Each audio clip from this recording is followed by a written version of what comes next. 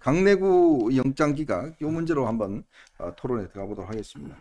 어제 말이죠 윤재남 중앙지법 영장 전담 부장 판사가 이제 영장을 기각했는데 아, 현 단계에서 피의자를 구속할 사유가 있다고 보기 어렵다 이렇게 이야기를 했고 그 다음에 제출된 자료만으로는 압수수색 이후 피의자의 직접 증거인멸 시도했다거나 다른 관련자들에게 증거인멸 및 허위사실 진술을 하도록 회의했다 단정하기 어렵다. 수사에 영향을 줄 정도의 증거인멸했다고 어, 장차 증거를 인멸할 것으로 예상된다고 단정하기 어렵다라고 이야기를 했는데 아니 근데 이거 보면요 지금 최근에 이 그 강내구가 어, 직전에 이 돈을 줬다는 사람이 있지 않습니까? 이 사람한테 전화를 해서 아 이거 돈 그 뭐 최근에 뭐 줬다고 이야기해라. 뭐 이렇게 또 이야기하기도 하고. 여러 가지에 지금 또 더군다나 본인이 검찰에 소환 요청을 두 차례나 아예 전화를 받지도 않고 그 다음에 본인이 또 이 저 저 이 여러 가지 증거 인멸하기 위해 사람들과 소통했던 이런 기록도 나오는데 도대체 무슨 이유로 영장을 기각했는지 참 이해가 안 되고 그래서 검찰이 강력히 반발하면서 바로 재청구를 하겠다라고 이야기를 하는데 자 우선 우리 서 변호사님 이 윤재남 중앙지법 영장 전담 부장 판사 일단 저희가 뭐 사실은 법원의 판단에 대해 존중합니다만은 근데 최근에 이 법원장이 바뀌면서 영장 전담 부장 판사들도 새로 이제 임명을 했다 그러는데 이게 좀 문제가 있다면서요? 지금 이제 이거 판사들 만나가 저도 이제 이거 식사도 하고 술도 먹고 많이 합니다. 네. 판사들이 술자리에서 제일 많이 하는 말이 있어요. 음. 서 변호사 네. 판결 재판도 이게 정치야. 재판도 정치야. 옛날에 그 누가 이야기했죠? 그 이런 뭐, 이야기 어, 많이 합니다. 재판은 정치다 이야기 한 사람이 있었어요. 지금요 네. 순진하게 판사가 쓴 그 몇 줄짜리 문구 있잖아요. 네네. 이걸 가지고 이게 분석하면 안 되는 거죠. 음, 음, 기본적으로 이게 그 사법부의 그 판사 성향이나 네. 어떤 정치 성향인지 음. 이런 것부터 이게 근본적으로 분석을 좀 해봐야 됩니다. 아하. 지금 김명수가 네. 퇴임을 앞두고 음. 장이 상당히 그 위협을 거죠. 신변의 위협을. 음. 그러니까 이제 그 법원장이나 영장 담당도 바꾸고 네. 그리고 이제 처음에는 판사들이 압수수색도 못하게 하려 했어요. 압수수색할 때도 피의자 불러서 물어보고 물어 보고 한다고 그랬죠. 신문하고 해라. 그러면 이게 다 숨길 수 있잖아요. 말이 되는 소리 그게? 자, 아. 이번에 그러면 올해 서울중앙지방법원에 네. 어떤 변화가 있었냐? 음. 우리 그 사법 역사상 최초로 네. 법관들이 직접 투표한 네. 추천하고 투표한 사람이 게 최초로 법원장이 된다. 중앙지법원장이 됐죠. 예, 네. 최초로. 네. 왜 그러냐면 이게 이제까지는 안 그랬거든 중앙지법은. 음.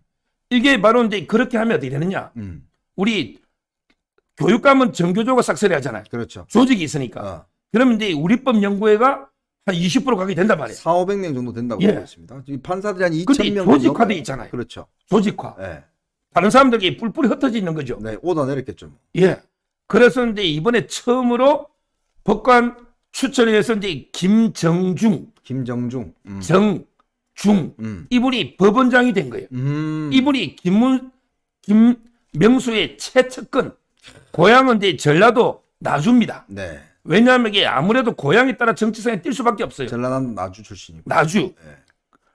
그리고 이제 그 서울 배문고 논대 26기입니다. 음. 26기 한동훈보다 1년 선배죠. 네네. 이분이 김명수의 최측근이 법원장이 된 거죠. 아. 그리고 이제 법원장이 영장 담당 3명을 바꾸잖아. 네. 근데 그 중에 가장 정치색을 많이 띈 게 윤재남인데. 이 여자분 있죠? 예. 어. 윤재남은 이제 그 자기 고향 후배를 씌인 거죠. 법원장이. 오. 바로 이제 전라도 남원, 전라북도 남원이군요. 남원. 네.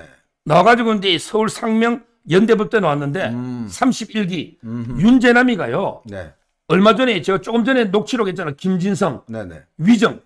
이재명이가 위정 교사시킨 네네 거. 맞아요. 김진성도 영장을 기각시킨 게 아, 이 윤재남입니다. 윤재남 판사군요. 예. 음. 그다음에 이거 이명박 대통령 세태 사이 네네. 한국타의 회장은 도망간다고 또 구속시켜 놨어요. 네. 아주 게 편파적이고 음. 이번에 이 강내구 음. 이 사람에게 영장 기각되리라고는 좌파 패널들도 아무도 생각 못했어. 어. 어제 제가 TV 나갔잖아요. 네. 전부 다 이게 100% 이거는 발부된다고 다 보더라고. 그렇죠. 영장이 기각되니까 제일 놀란 사람이 강내구야. 자기도 구속될 줄 알다가 강내구도 놀라고. 음. 그다음에 검찰 한동훈 장 검찰도 놀라고. 음. 그다음에 이 펜을 저도 놀라고 음. 온 국민이 놀랬죠. 음. 이걸 제가 새벽 3시에 봤거든 기사를. 네, 네. 잠이 안 오더라고. 정말 이게 얼마나 화가 나는지 음. 잠이 안 올 정도로 이런 게 저는 정치 판사들이 이런 게 정치 판결을 내리니까 음. 이게 앞으로 이게 심각한 문제다. 윤재남 이래 봅니다.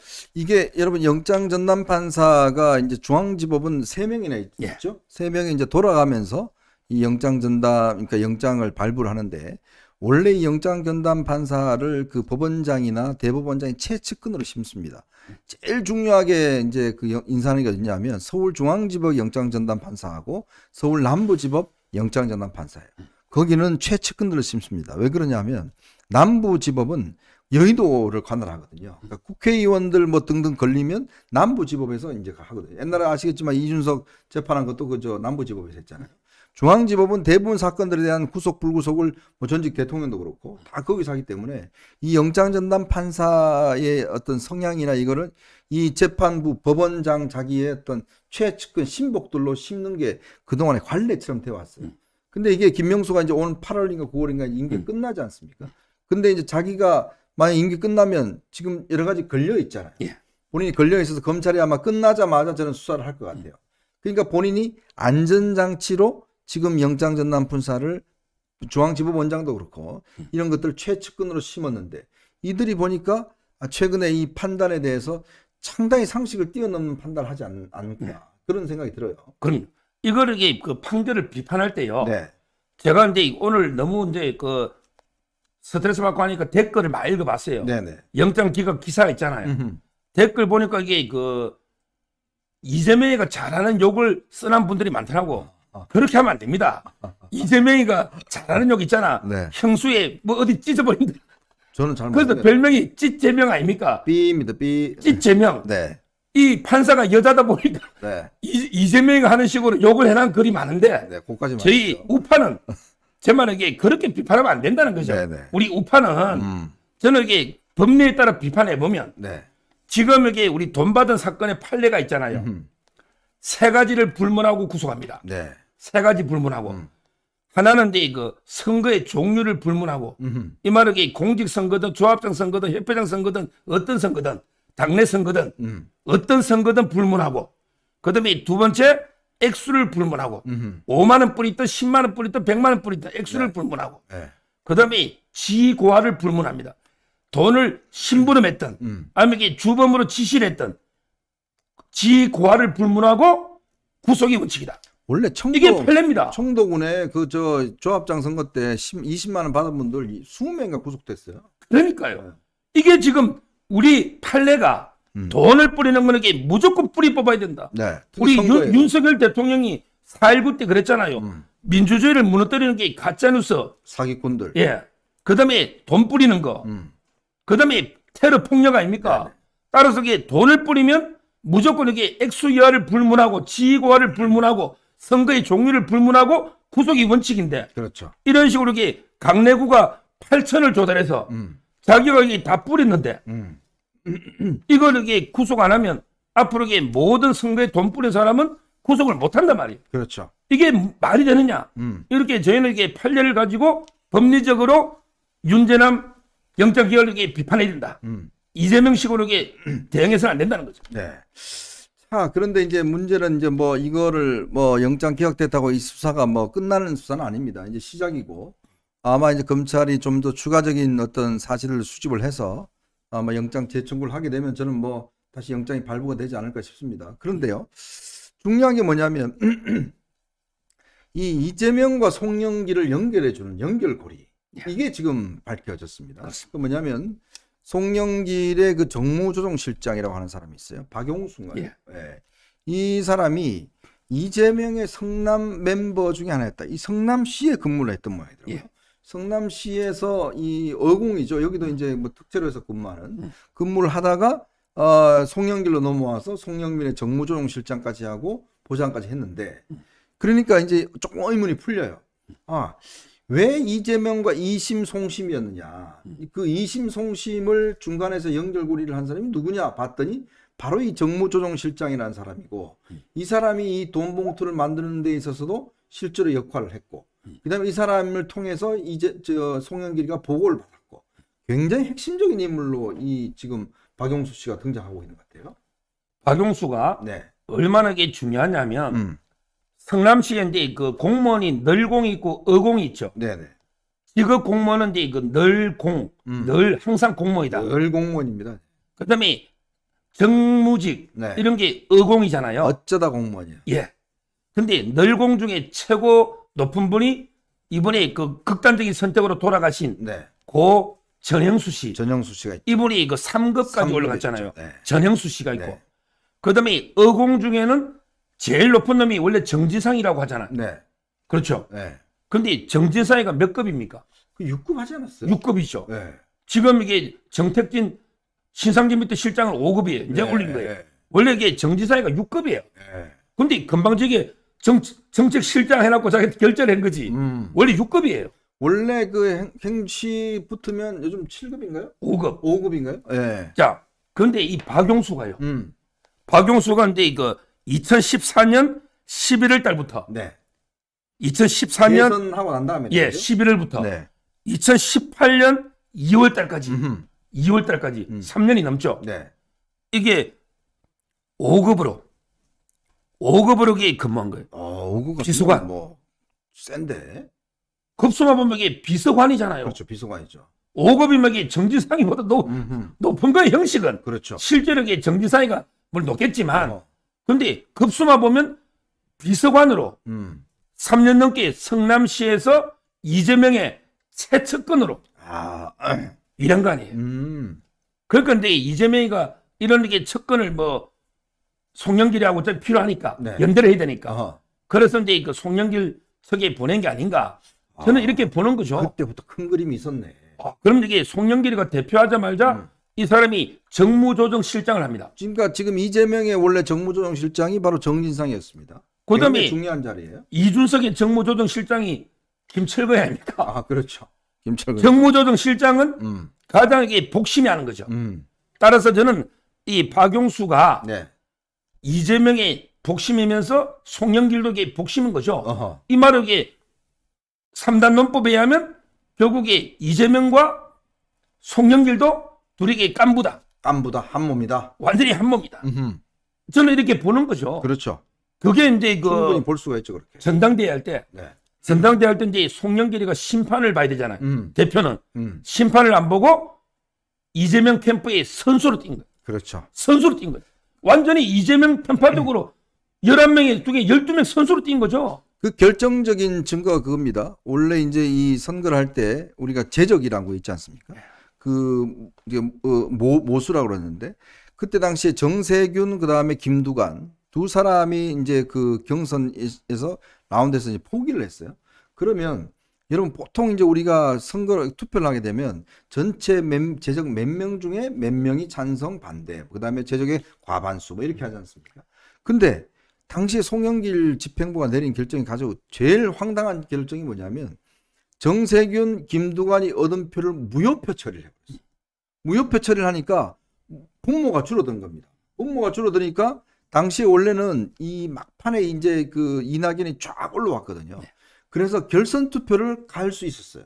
그 과반이 안 나와서 50.73인가 그때 하여튼 뭐 이재명이 왔는데 만약에 이거를 이 김 저 정세균 김두관이 나온 표를 전체 포함을 시키면 과반이 안 돼요. 예. 그러면 이 두 사람이 이제 올라가면 그때 당시에 대장동 문제가 확 불거져서 이낙연이 막 뜰 때거든요. 음. 근데 송영길이가 뭔 결정을 했냐?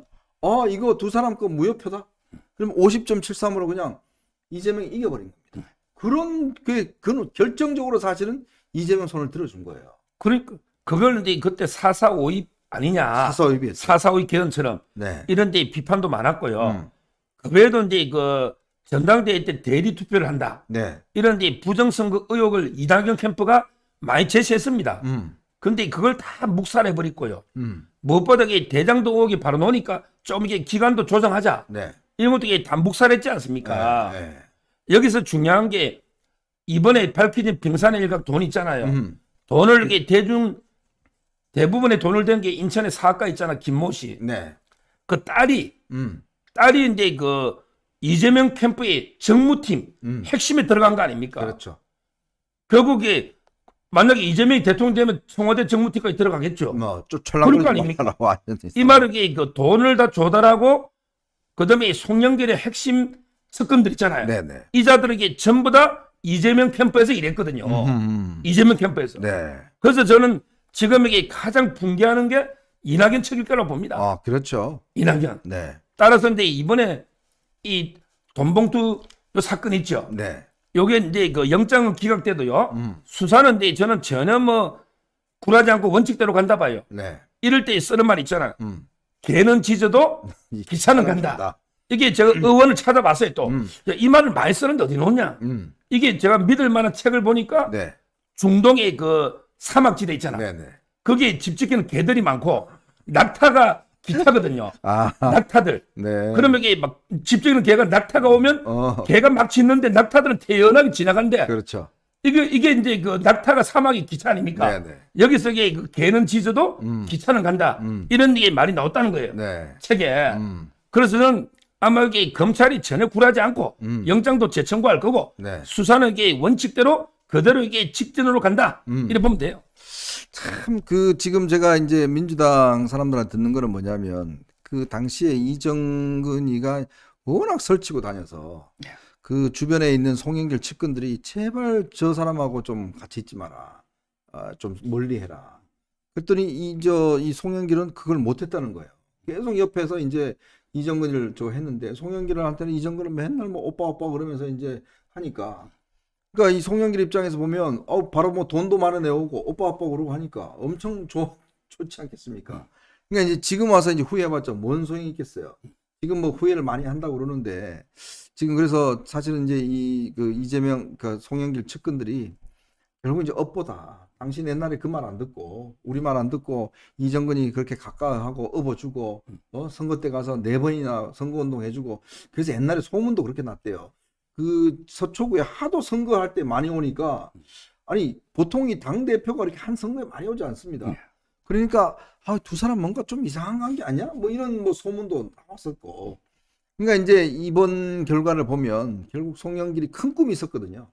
큰 꿈이 있었는데 결국 그 본인의 주변 사람 관리 하나 못함으로 인해서 결국 좌절될 수밖에 없는 거 아니겠습니까? 아, 그럼요. 네. 근데 그 제가 송영길이는 좀 이게 그 술도 먹고요. 네. 저녁도 몇 번 먹고 제가 밥값도 몇 번 내고 해서 네. 좀 압니다. 네 네. 근데 제가 보기에 그 송영길이가 저는 이제 그 절대 혼자 죽지는 않을 겁니다. 음, 송영길이가. 음. 만약에 그 지금 이정건이가 있잖아요. 네. 자기 이제 꼬리 잘렸다고 엄청나게 붕괴합니다. 네. 이정건 씨가 이제 저는 노트를 하나 만들었거든요. 네, 만들었죠. 저는 이제 이걸 신빙성이 높다 봐요. 음, 왜냐하면 이정건 씨가 자기가 노영민도 친하고 송영길도 친하니까 음. 자기가 들은 정보도 있고 그다음에 박우식 씨라고 있잖아요. 네네. 이분이 노무현하고 친해가 송긴 신부한테 1억도 준 적이 있어요. 박우식 씨가 이제 자동 녹음한 것도 이정건 씨는 볼 수 있거든요. 네네. 재판의 증거니까. 음, 그다음에 이거 수행 비서 정모 씨도 네. 따라서 이게 이정건이는 모든 자료를 볼 수 있으니까 음, 자기가 경험한 것 플러스 자기가 들은 거하고 해가지고 이게 노트를 다장으로 네. 돈에게 어떻게 로비가 됐냐. 음, 처음에 그 문재인한테는 어떻게 갔느냐. 음, 그 다음에 문재인을 두 번 재수해가 대통령 만들어 재수해. 아. 그건 어떻게 됐냐. 음, 그 다음에 그 이재명 7인은 어떻게 됐냐. 그 다음에 그 초대 식품의약품 유- 유영진이라고 있잖아. 유영진 있죠. 류영진. 네. 이거는 게 어떤가. 음, 그 다음에 노무현까지 음, 다섯 장으로 모든 게 로비 내역을 적어놓은 게 있어요. 네. 다섯 장짜리. 네. 이걸 이렇게 일부에서는 야, 이 신빙성이 없다. 음, 근데 저는 달리 봐요. 음, 제가 이게 정확하게 내용을 시사전을 외에도 이게 딴 거 알아보니 네. 이게 그 기존의 녹취록들하고 거의 부합합니다. 음, 기존의 비슷한 녹취록이 게 많죠. 네. 저는 8만 대장경을 하거든요. 음, 어떤 이게 기자가 이정건이니까 2만 대장경을 하길래 이정건이가 녹음한 게 3만 개, 아, 박우식이 한 게 3만 개, 3만 개. 어림잡고 네. 그다음에 수행비서 박우식의 정모 씨가 2만 개, 네. 이게 8만 대장경이에요. 이 정말 녹취록 보면요, 네. 어차피 이게 김영배 있잖아. 음, 김영배가 재선 의잖아. 네. 이자가 이게 박우식이 막 면회하고 하는 이야기들 있잖아요. 그렇죠. 녹취록하고 노트가 일치합니다. 네. 그다음에 그 태양광하면 허인 아닙니까? 음, 이것도 이게 일치하는 거예요. 그다음에 이거 식품 의약품 류경진 있잖아. 네네. 여기 마스크 사업하는 게 다 나옵니다. 그렇죠. 마스크 그뭐 인허가 해주고 이거는 녹취록과 노트는 거의 부합하는 거예요. 그것도 수사도 했잖아요. 이정근 할 때. 예. 따라서 저는 이정근 노트는 음, 팩트다. 음, 소설이 아니라는 거예요. 네, 근데 어떤 분이 야 거기에 CD가 음, CD가 이게 100억짜리 한 장 카톡으로 와 있고 네, CD 100억짜리 30장을 뭐 이게 현금한다. 음, 이런 게 노잖아요. 음, 근데 이게 가짜 아니냐? 음, 어떻게 3천억이 노냐? 음, 이게 순진한 거예요. 음. 제가 이게 박우식 씨 사업 규모를 찾아봤어요. 네, 박우식이가 2008년도에 대출만 네. 제일상호저축은행에 430억, 아 대출요? 그 다음에 산업은행 사는자산운용에 650억, 와, 그 다음에 한국교원공제에 550억, 오, 1 5, 600억 이걸 이게 대출 받아서 자기 돈과 사업을 굴리면 음, 금방 이게 1조 단위 됩니다. 아 그러네. 우리 좀 이따가 인천 사기 이 사람들이 강원도 이게 7천억짜리입니다. 그렇죠. 7천원짜리죠. 그러면 이게 자기 사업상 100억짜리 CD 3천억이 많습니까? 그렇죠. 이걸 이게 국회의원 엘모 씨한테 음. 황금행부터 는 놓잖아요. 맞아요. 정부가 CD 번호까지 다 놓잖아요. 음, 따라서 저는 오히려 이게 이런 걸 봤을 때 이거는 완전히 다큐멘터리 팩트지. 음. 이정근 노트는 허위가 아니라고 보는 거지. 그러니까 이게 이제 우리가 아까 서 변호사가 잠깐 이야기랑 분석을 했는데 이걸 왜 만들었을까라는 게 이제 궁금증이 있잖아요. 도대체 녹취록도 남겨놨는데 왜 이렇게 노트가 있었을까라는 걸 보면 아마 이제 이정근이 굉장히 억울하다. 왜 나만 갖고 그래? 뭐 왜 내가 누구 나 위해서 한 게 아니잖아. 그러니까 그 남편도 그렇고 변호사도 그렇고 변호사도 옛날에 한번 그냥 정철승 변호사 이야기했잖아요. 이거 가지면 다 그냥 민주당 다 죽는다. 더군다나 이게 뭔가 억울한 게 굉장히 많았던 것 같아요. 그래서 이걸 이용을 해서 뭔가 자기를 좀 방탄을 하기 위한 뭔가 보호받기 위한 저는 그 수단으로서 이걸 남긴 게 아닌가 이런 생각 들어요. 그렇습니다. 음. 제가 이제 이거 우리 정치학의 평행 이론이 있습니다. 네 맞습니다. 옛날에 그 링컨하고 네. 그다음에 케네디 대통령 있죠. 음, 음. 이분이 걸어온 거나 암살 과정이 보면 거의 똑같잖아. 그렇죠. 옛날과 지금의 비슷한 상황을 이제 하면 평행 똑같은. 게 있다. 평행 이론이라고 그러죠. 제가 이제 그 유동규하고 음. 이정건은 평행 이론이다. 네. 이걸 요즘 이게 방송마다 강조합니다. 네, 네. 종편에서도. 음. 왜냐? 똑같죠. 유동규 씨가 자기에게 돈을 갖다가 온갖 끌어와가지고 돈을 써가면서 음. 죽도록 일했잖아. 네. 의리 지켰잖아. 음. 근데 나중에 철저하게 헌시짝처럼 버림받았죠. 음. 완전히 팽당했잖아. 네. 너 척근도 아니야. 너 나쁜 놈이야. 그랬더니 유동규 씨가 지금 여기 그러면 폭로도 하겠다. 음.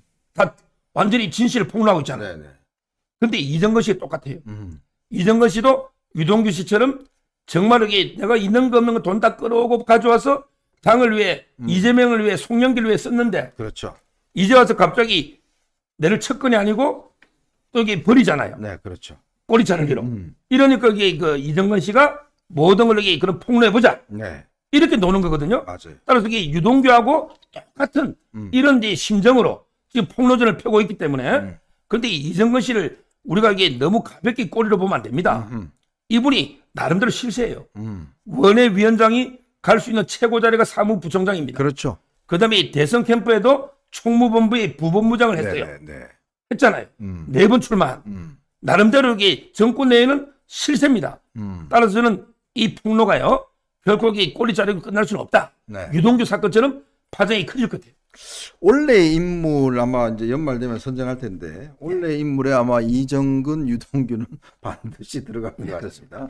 하여튼 이 두 명의 어떤 변심 폭로가 정말 대한민국 정치권을 완전히 이제 흔들어 놓고 있는 참 그런 상황인 것 같습니다. 자.